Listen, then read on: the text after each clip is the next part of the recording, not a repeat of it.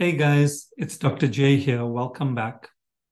In this video, we will look at how to write some JavaScript, which will help us to execute the code on these buttons, and we will be able to have some interactivity on our web page. Previously, we created um, buttons, uh, we created labels, we had a text box. Um, and this was what we had previously. Uh, in this video, we will now take a look at how we can write some JavaScript. So let's jump straight into this. I'm going to change my view in CodePen. And for the first video, we want to we want to add some interactivity to this button. In other words, when I click on the change color button, this particular H3 heading, welcome to components, should change to the color red. So I want to keep it very simple and basic. Uh, you will recall in the HTML code, we've got an H3 tag that says welcome to components. And we created this button and the button had an ID, uh, which will, you will see will allow us to link to, um, uh, to the particular button. So in order for us to now write the JavaScript, the first line of code is where we create a variable. So here I'm creating a variable. The variable is called my button. I could call it any name I choose to. Uh, here I'm calling it my button, but this is the important part on this end.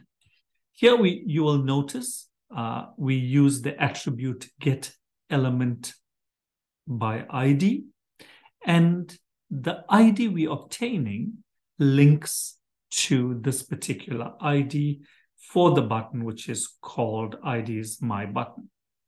So the my button, I'm creating a variable and I happen to call it the same name. My variable name is also called my button. So every time I refer to this variable, I am actually coding for this particular button. The next line of code is where I now create a link to the H3 tag. And you'll notice the H3 tag does not have any ID. So we use the attribute query selector. And the selector here is H3. So that's the selector that I'm linking to. And I'm creating this variable called H3.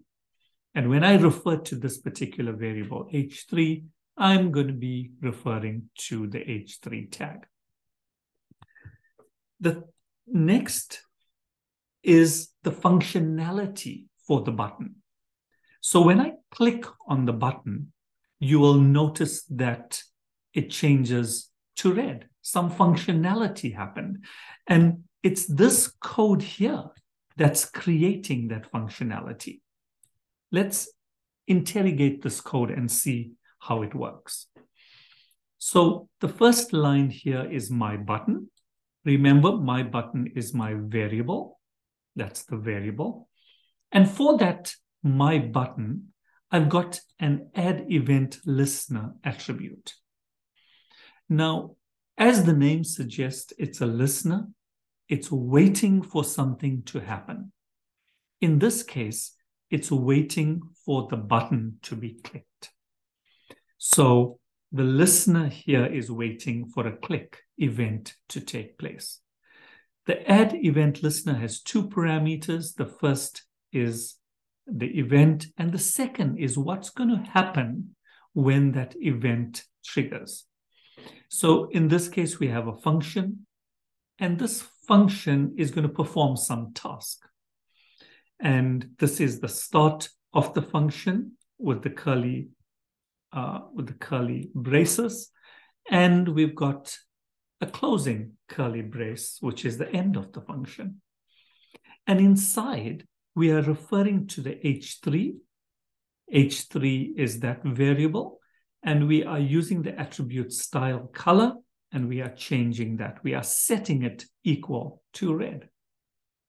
So when the click event takes place, then this function will execute. And that's exactly what happened here. When I clicked on the button, this text changed. It changed to red.